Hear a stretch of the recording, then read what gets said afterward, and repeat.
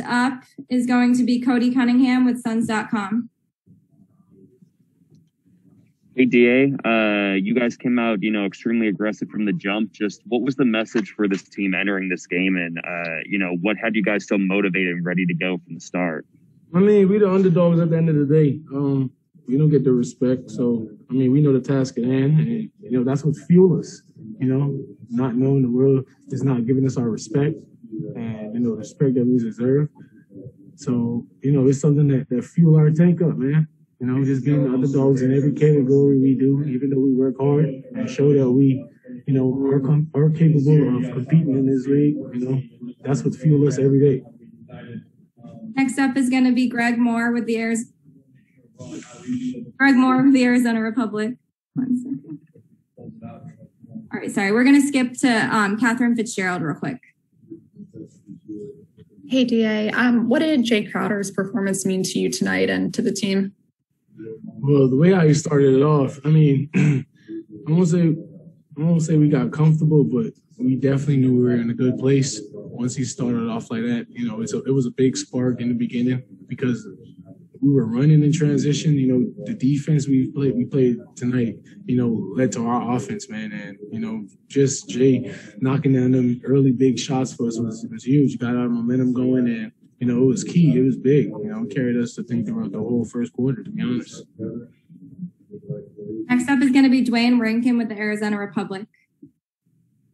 DeAndre, c- c- congrats on getting that first uh, playoff series win. I just had a couple things. One, um, I've been meaning to ask you this about Chris's shoulder because you've experienced the same thing. I mean, have you two talked about, you know, hey man, this is this this, this isn't cool, man. I mean, you guys had conversations about about each other's shoulders. I mean, yeah, it, it, it's a weird little um, minor. I don't even know what to call that thing, but um, you know, I'll say uh, we're different type of people, man. I'm, I'm a bigger dude, so I mean, I can somewhat play through it. You know what I'm saying? Um, I mean, see, I think C carried as well. He still he still tries. He I seen him tweet it earlier today. I, he he played through it all, and you know, just you know, just us. You know, he's always icing it. I never really iced it. I just played through mine, to be honest. We never really spoke on what we feel for real, but I just knew what he was going through. Next up is oops, sorry. Next up is going to be Leonardo Torres, followed by Nicole Jarena. Hi, DA. It's Leonardo Torres from Peru. Congrats on your win. DA, what are your thoughts on Denver Nuggets? I mean, what do you think will be the key of the series? Key of the series is sticking to what we do. Um, you know, defense is what you know creates our offense, and you know, uh, we know it's going to be a different team, different style of play, but we can't change what we do, and we can't we can't uh, you know revert from being boys, you know, the way how we did in the first series. Next up is going to be Nicole Jarena. Hey DA, congrats for the win. What is your you welcome? What is your fresh impression about the game of Booker tonight and through the series?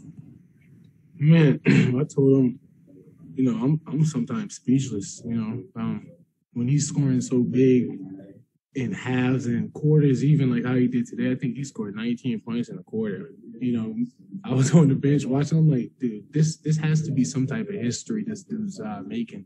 You know, scoring like this, and you know, feel like he doesn't miss sometimes, but you know, um, it, it, was it was just great to, to to to experience all of this. To be honest, you know, I seen him go to another level with my own eyes. You know, and just seeing it and being a part of that is actually amazing. You know, just being a part of his legacy, him and Tim and Chris is it, it's actually crazy. And I see how Chris worked with him, and you know, uh, Chris is rubbing off of a book a little bit when it comes to professionalism on and off the court. So it's just leading to the games, different approach that is very contagious for the team. And, you know, here we are. All right, I think we're going to wrap with that. Thank you so much for the time, DA. Thank you very much.